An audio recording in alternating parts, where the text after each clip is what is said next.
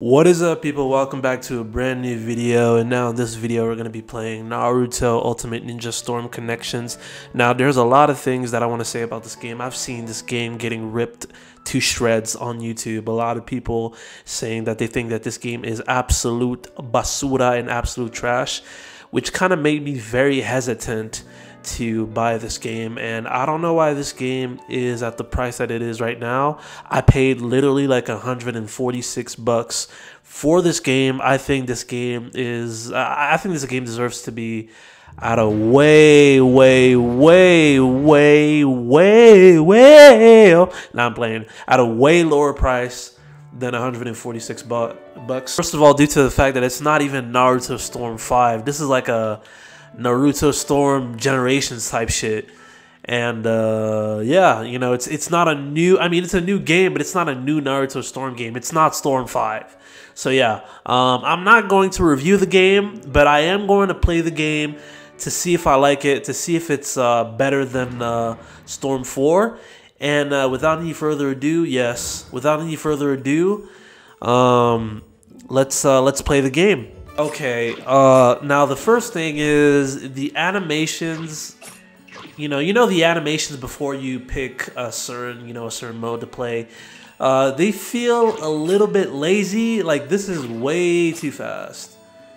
This is way too fast. Like not in the not in the last um, storm games, but whatever. Uh, it's just a little detail that I'm seeing already.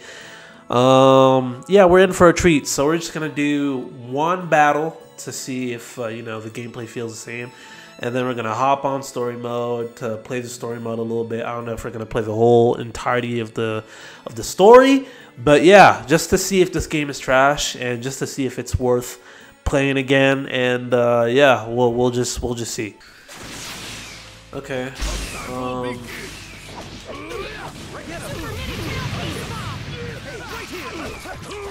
Okay, yeah, the controls feel the same.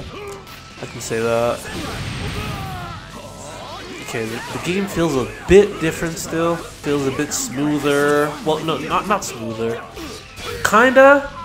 Like, it's like a mix between smooth, like, it's a bit more smooth and a bit more fast. Yeah, the, the voice acting is kind of trash though. I'll say that. Okay, yeah, smooth. Nice. Okay, nice. Okay, so I, I really don't have anything to say about the gameplay, to be honest. It's, uh, you know, typical Naruto Storm uh, gameplay or whatever.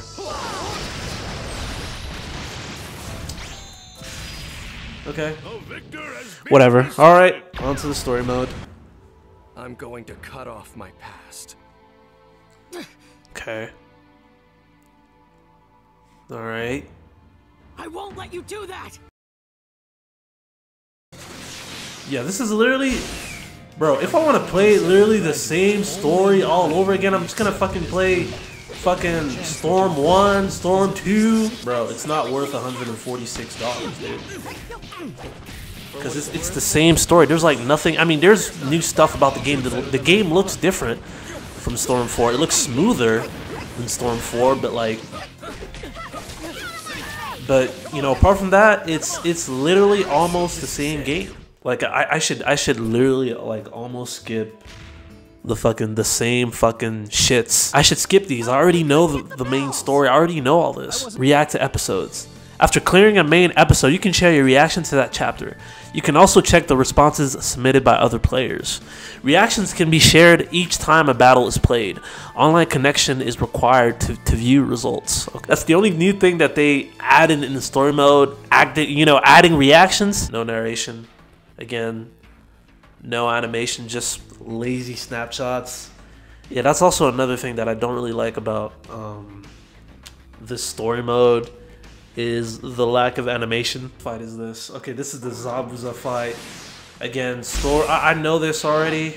Don't hold us back, Sasuke. That's what you're here for, loser. The fucking voice acting is dreadful because I'm. It's it's like I'm. It's like a. I'm feeling like I'm playing the same game over and over again. I already know the story. Um. defeat anyone who interferes with Zabuza. I'm gonna win this no Whatever. matter what. Easy peasy lemon squeezy. I Already played this. Oh my god. I don't. I, I still don't like the fact that there's literally like no animations in this. Turning the battle in their I, I think it's just very lazy to be honest. Just very very lazy. Okay, so now we're in the Zabuza fight, where Kakashi fights Zabuza, whatever.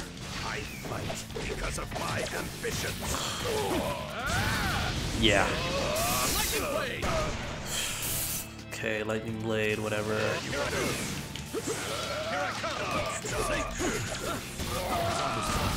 got a little farewell. Oh wow. Okay. Terrified. The end. Here I go. Lightning blade, lightning blade. Uh, that's it. That was it. That's it. That was really it. Okay. She lashed out with the finishing blow. Haku threw I don't. I. I don't care. I've seen this many times. I know what this is. I know what happens. They both die.